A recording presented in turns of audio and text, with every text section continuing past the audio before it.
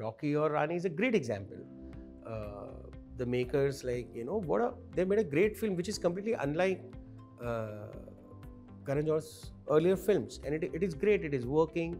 So, and this was always like you always strive to make better films for yourself and for the audience so that they can enjoy more and all. The comparison bit is where a lot of I feel there are a lot of technical reasons which are there, which uh, like for example, you said you know the South Indian industry is doing very well uh, in box office, which is correct, but the reasons are a lot different. So see, entertainment law is defined is very state specific in India. The four states have a certain cap on tickets.